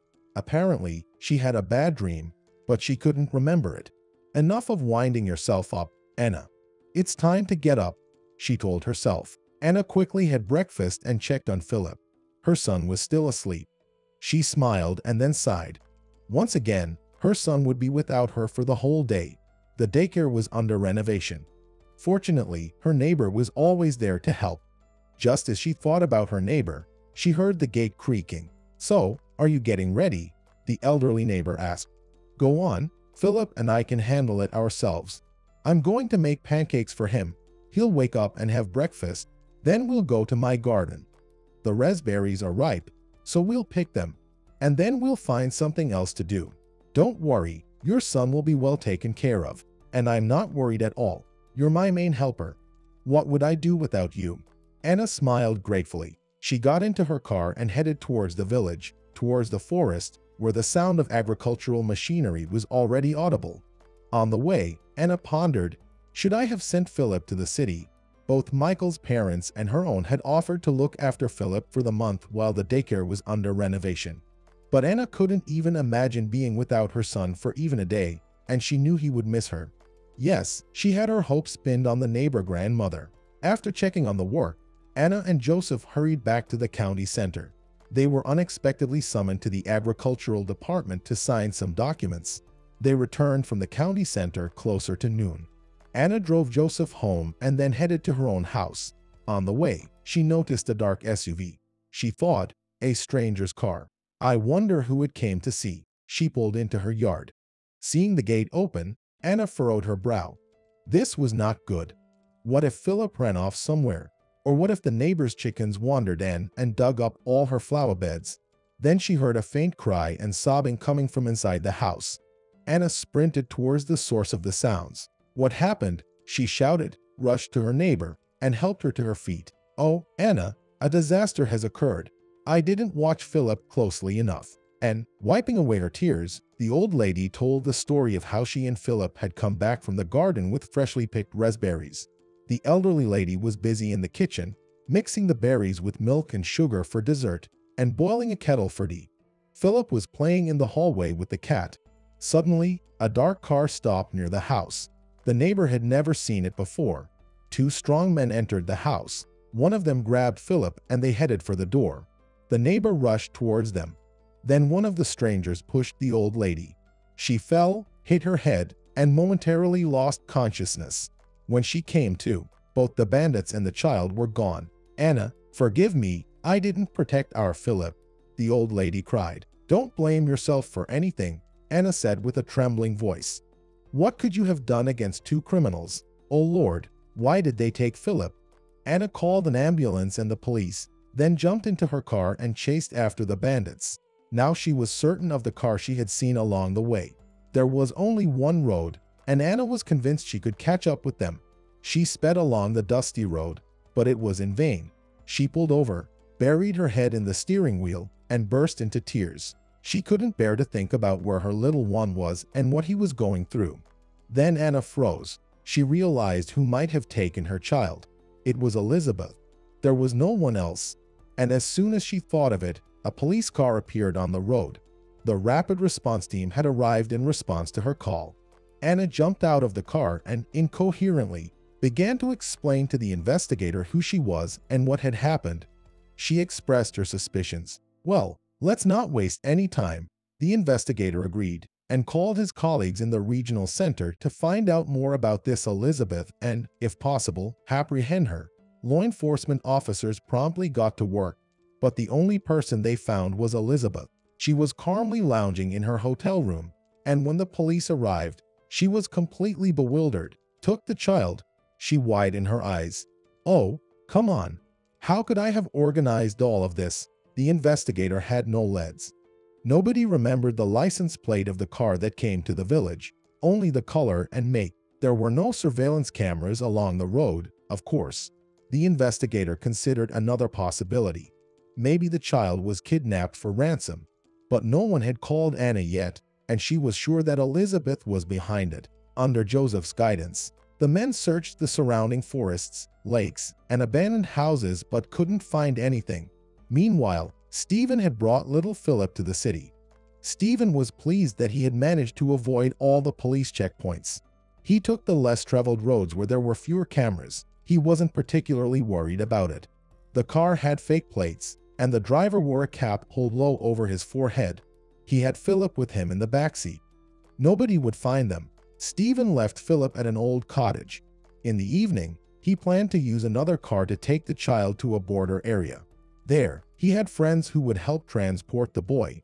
One thing bothered him a little, though. The child was scared, crying all the time, and calling for his mother. Stephen wasn't entirely heartless, and he regretted getting involved in this adventure. But a substantial sum of money was at stake, and it was too late to back out now. Why are you crying? He tried to comfort Philip. We'll be with your mom very soon. Really? The child asked, wiping away his tears and looking trustingly into the eyes of this big uncle. Of course, your mom asked me to bring you. Stephen reassured him. With some effort, Stephen calmed the child down and made a vow to himself. Never to get involved in such matters again, and maybe everything would have worked out for him. But then an anonymous call came into the police. A woman called and said she knew who had taken the child. She mentioned the name Stephen. From there, it was only a matter of time law enforcement determined Stephen's whereabouts. Soon, both he and the driver were apprehended as they were leaving town. Philip was in the backseat. When Anna received the news that the boy had been found, she nearly lost consciousness from relief. Then she burst into tears, but this time it was tears of joy because her little one had been found. Over a year passed. All those involved in the incident were punished. Stephen and his accomplice received substantial sentences. Elizabeth was also convicted for her role in the crime. Furthermore, her Italian husband divorced her. Alexis, who had made the anonymous call to the police, escaped with only a slight scare. The court recognized her cooperation with the investigation and she went as a witness. However, she was dismissed from the laboratory as the management didn't want someone with a questionable past working in their institution. During the trial, many facts came to light including the revelation that Philip was not Michael's biological son. Michael's parents were initially shocked, but over time, they accepted Philip as their own. Anna's parents were also surprised, but how could they turn away from a child who had become an integral part of their family? Anna and her son continued to live in the village. The terrifying events slowly faded from memory, and then, in Anna's life, another unexpected encounter occurred with someone she already knew, but who would have thought fate would bring them together. That year, spring was in no hurry. Even at the end of April, there was still snowfall and frost at night. Anna was concerned. But then, within a couple of days, the weather cleared up. The sun warmed the soil, saturated with thawed water, and the work began. Anna cheered up, and Joseph was inspired. He had plans to cultivate the field between the plots. There, the winds were not as harsh, and the moisture would be preserved. Anna agreed with the estate manager's decision. He was right. The land had been legally registered in her name for a long time, with no problems. This year, the fields would be plowed, and then the seeds sown. The wheat crop promised to be excellent. Joseph even joked that Anna had become a true agronomist over the years. Well, with so many years in the business, she had learned to understand it. And then, one morning, the tractors came to this piece of land. The mechanics knew their job, and they worked diligently. There was a small hill by the ditch. It had always been there for as long as the locals could remember, but no one had ever attached any importance to it. Just a hill, and the wind had blown it up over many centuries. And so, one of the tractor drivers decided to level that hill as well. Why should it just stand there unused? He had plowed through it, churning the soil. Then another driver saw something glinting in the freshly plowed earth. He got out to take a look, thinking maybe it was some parts fallen off the tractor. As he approached, he realized it was pottery shards and some metal objects. The other tractor driver came closer, scratching his head. It looks like we've stumbled upon some graves, he guessed. Oh, come on, that can't be true, he replied. I don't know, but people used to live here, right? And you see, this area had never been plowed before.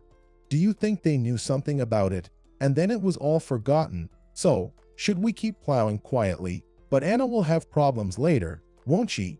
They won't overlook something like this. Yo, you're right.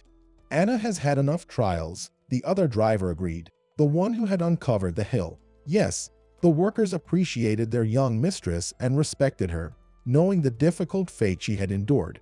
They called Anna and told her everything. She arrived with Joseph shortly after. What is this? Anna asked in surprise, examining the pieces of clay pots. It was clear they were ancient, they decided to call in archaeologists. Let them decide how to proceed. After all, if this became known later, they couldn't avoid penalties. A few days later, specialists arrived. They set up camp near the forest and began to study and dig the very mound. Anna had plenty of her own work, but she was still curious about what the archaeologists had found. One afternoon, she drove up to the excavation site. Four men were taking a break, drinking tea in a clearing. Hello, Anna. One of them greeted her first. Come join us for some tea. Anna was surprised how this archaeologist knew her. They hadn't met before, as far as she could remember, but she studied him more closely. He had a robust build, was stocky, and had a slight beard. Maybe they had seen each other somewhere. Don't recognize me? The man smiled. I'm Christopher. Remember, I came to see you. Anna suddenly remembered. It was Christopher, the one who had been searching for his family's treasure. At the time, she had been so afraid that he would demand compensation for the jewelry. But no, they had parted ways amicably. Christopher. So, you're an archaeologist now. I always was one. I also teach at the Institute. And then, we were informed about these burial sites. I decided to come with my colleagues to investigate. Maybe later, I'll bring some students here for practice. You don't mind, do you? How could I possibly mind? Anna smiled. You will even ask me for permission here. Yes, it must be disappointing that you had to interrupt your work. A bit, yes, but it's okay. We'll get through it. You should join us for tea. So, conversing this way, Anna joined the company of archaeologists. Christopher and his colleagues turned out to be sociable guys, and they chatted. Anna left the field in good spirits. Well, never mind that field. Let the historians work on it. Soon, it became clear that the discovery was of real value. They found artifacts from the daily life of the Finno-Ugric people. Christopher started to see Anna more and more frequently. Sometimes he would visit her, and they would chat in the gazebo. Philip was often around. You have a wonderful son. Christopher once remarked, and for some reason, he sighed sadly. Do you have children? Anna asked cautiously. No, my wife didn't want any. She kept saying she needed time for herself, and now it's too late. What do you mean, too late? We got divorced. Christopher shared that he had been married for nearly 10 years. His wife had worked with him at the same institute, and everything had seemed fine. But then his wife confessed that she had rekindled her first love. They had been divorced for six months now. It's sad, but I'm sure you'll find love again, Anna said. You're a very good and decent person. I'm still grateful to you. You didn't make a fuss about the jewelry back then, although you could have. I didn't act completely honestly at the time. I should have turned in the valuables instead of selling them to third parties. You were saving a child, Christopher firmly replied. I had no moral right to ask anything from you. Yes, but I must confess now that I used part of the money to develop my farm. I probably should compensate you for that amount. We'll have the harvest season in the fall, and then I'll be able to pay you back. There's no need to return anything. You invested that money in the land's development, creating additional job opportunities and a rural life. I see how hard you're working. People in the area speak highly of you. What do they say? They say you're an excellent manager and a decent person. But, but what? Happiness won't smile upon you. An elderly lady in the store once said, My happiness is my son, Anna said confidently. Christopher smiled in response and winked at Philip, who was clearly yawning while sitting next to his mom. Anna noticed this and wanted to pick up her son, but Christopher offered to help. He carried Philip inside, and Anna put her son to bed. Afterward, they stood in the yard, gazing at the stars. Anna, may I ask you another question? Christopher broke the nighttime silence. Anna shrugged and nodded in response. Did you love your husband very much? Anna sighed, not saying anything, and just looked up at the sky. There had been a time when Michael stood beside her, and happiness was abundant, but then everything happened. Her husband's betrayal, his infidelity, his guilt, and then Philip, a child who was, in essence, a stranger, but had become the dearest to Anna. She looked at Christopher and said, I loved Michael, but that's all in the past. They exchanged meaningful glances, but then, as if coming to their senses, both became a bit embarrassed and started to say their goodbyes. As autumn drew nearer, Christopher left for the city. The new academic year was about to begin, and he had to be at the institute. However, truth be told, he wasn't eager to return. I guess you like the field conditions? Anna asked. Yes, I'm accustomed to such conditions. We've cooperated on archaeological trips before. I really enjoy this lifestyle, but this time, there's another reason. What is it? I don't want to leave you. Christopher looked into her eyes. Anna felt flustered and didn't know what to say. She, too, was saddened by Christopher's departure. She had grown used to their meetings, conversations, and walks. But expressing this was beyond her. I'm sorry for making you feel uneasy, Christopher said quietly. You were busy with your own plans, and then here I am. No, it's all right. I was just planning. What? Many years ago, Michael wanted to plant a garden in this place but never got around to it. Now, I'm inspired by that idea. Do you think I can make it happen? You can achieve anything.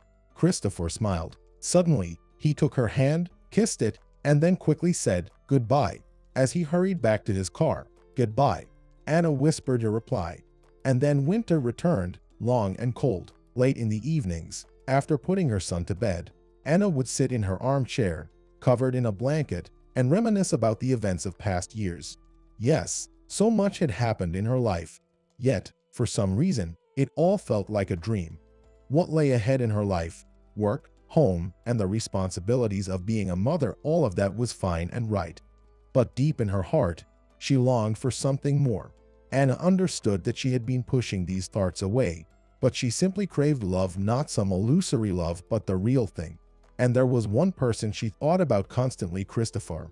However, he hadn't called her since he left, and she didn't reach out either, driven by pride. Sometimes she yearned to dial his number, but she scolded herself. What would she even say to him? How are you doing? And that's it. She recalled their parting, and her heart ached. Then, one day, just before Christmas, there was a knock on the door. Anna and Philip were in the middle of decorating the Christmas tree. She initially thought it was their neighbor, who often visited their home. The door opened, and a man in a thick winter coat and a cap stood on the threshold. At first, she didn't recognize him, but then it hit her. Oh, Christopher, she stammered. Uncle Christopher. Philip joyfully shouted and rushed to hug the guest. Philip, I just came from outside. Christopher laughed with delight, though he also looked hesitantly at Anna. She stared at him, bewildered, not knowing what to say. Right now, Uncle Christopher will take off his coat, and you can hug him to your heart's content. She finally managed to say. Christopher didn't need to be asked twice. He took off his coat, hugged Philip tightly, and then handed him a package. Here, I met Santa Claus on the street, and he asked me to give you this. He winked at the boy. Oh, Uncle Christopher, I'm not a little kid anymore, but you bought this for me. Philip laughed and pulled out a large red remote control car from the package. Wow, it's so cool. The boy went off to play in his room, and Anna led her guest to the kitchen, where she poured some tea. She had managed to regain her composure and appeared quite composed. An unexpected surprise, she remarked. It was a surprise. I hope you liked it, Christopher said, pausing before adding, Forgive me. For what? Anna inquired. For not calling you. I couldn't. And Christopher began to tell what had happened to him. Upon his arrival in the city in mid-September, Christopher had an exam retake for third-year students. Among the students was a certain Margaret. She was rather foolish but came from wealthy parents. Predictably, she failed the exam.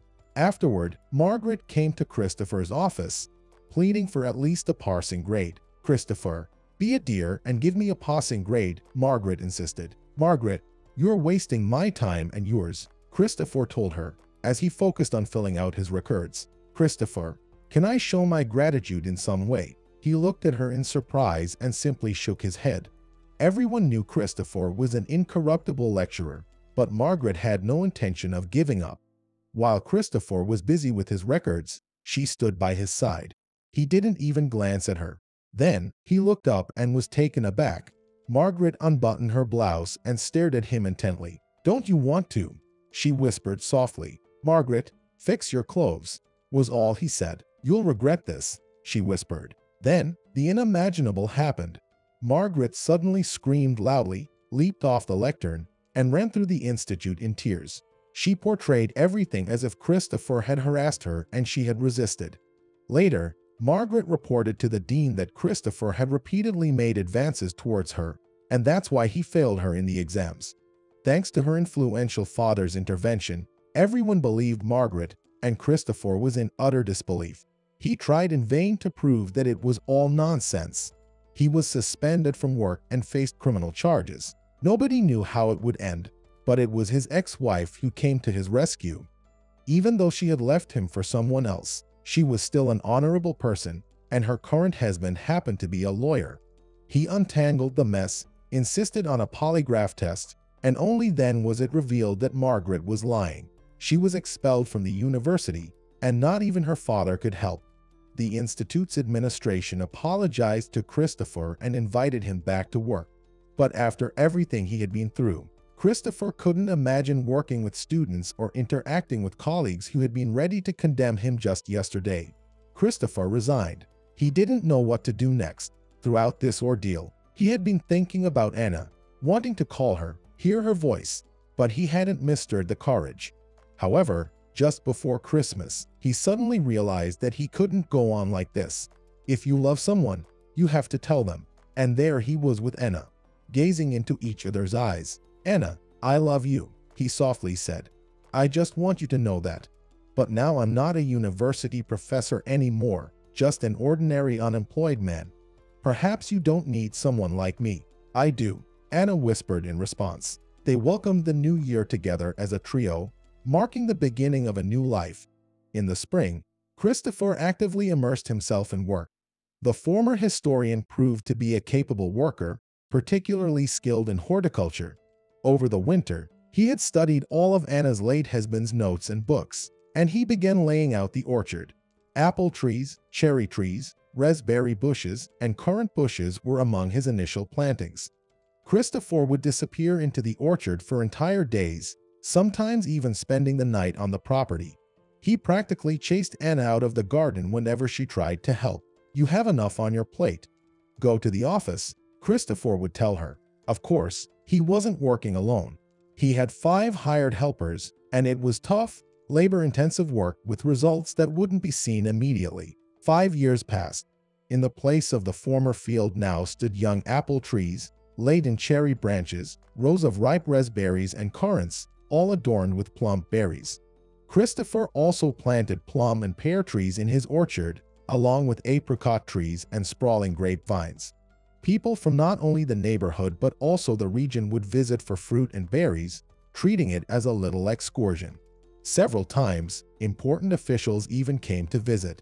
In short, the reputation of the fruit garden extended far beyond the confines of the small village. Christopher was often exhausted, but the garden had become his brainchild and the purpose of his life. Well, not entirely. His true purpose in life was his family. Christopher and Anna had married immediately after their first New Year together. Initially, Anna was deeply involved in the work, but gradually she stepped aside. She realized that she wanted to be just a woman and not a workhorse. Anna spent more time at home, taking care of their son and creating a cozy atmosphere. Joseph, their son, now managed the fields and the farm. He had acquired all the necessary skills from his father and managed his responsibilities quite competently. Sometimes, as Anna looked at the waving fields, the grazing cattle, and the growing garden, she thought, could Michael have ever imagined that his legacy would flourish like this? he would probably have been so happy.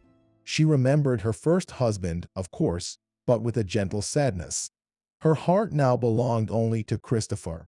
And then, two years after her second marriage, Anna suddenly started feeling unwell, experiencing dizziness and nausea. She had some doubts, but it seemed unbelievable. She went to see a doctor, and the physician at the local clinic had some delightful news for her she was pregnant. But how can this be? I was told before that it was impossible, she asked the doctor. There's always a chance, the doctor smiled. And your case is living proof of that. When Christopher learned of his wife's pregnancy, he became the happiest man in the world. Soon there would be four of them. Well, he was slightly off. At the fourth month ultrasound, Anna was revealed to be expecting twins, much to their delight. Anna gave birth to a boy and a girl. Philip was especially delighted because now he had both a little brother and a little sister, and he was the eldest, their protector. The only thing that worried the growing boy was whether they would love him as before. One day, he asked his mom about it. My little one, Anna smiled, our love won't go anywhere. You'll forever be our eldest and beloved boy, and a real family, of course. Why do you ask? Philip fell silent, then admitted that his grandmother, Amanda, Anna's mom had recently told him he was an orphan. Philip knew that Christopher wasn't his biological father, but his mother was, so he was confused. But his grandmother just sighed. Then he overheard her conversation with his grandfather. His grandmother mentioned that it was a common superstition that when you bring an orphan into the house, you subsequently have your own children. That's what happened with Anna. She adopted Philip, and that's how they got the other children. Philip didn't understand everything, but the idea that his mom had adopted him stuck in his mind. At first, he didn't say anything to his mom. He silently shed tears. But then he asked if his mom needed him. Anna had to confess the truth to her son. She assured him a thousand times that she had always loved him and would continue to do so. Christopher joined the conversation, emphasizing that Philip was their true family. Their love and care alleviated the child's anxieties. And so, these five years passed since Christopher and Anna got married. Philip was now 12, Sydney and Mark were three. The kids got along splendidly. Philip was mom's right-hand man. He helped with the little ones, read them books, and played with them. Sydney and Mark adored Philip, and he adored them. Sometimes Anna would contemplate her husband and children and wonder if she had ever imagined that her life would turn out this way. Certainly not. There had been a devastating loss in her life that could have broken her, followed by the revelation that came after that loss. Yes, her husband's betrayal could have shattered her too, but she endured because her maternal strength had manifested itself to the fullest. She wanted to be a mother, and she became one.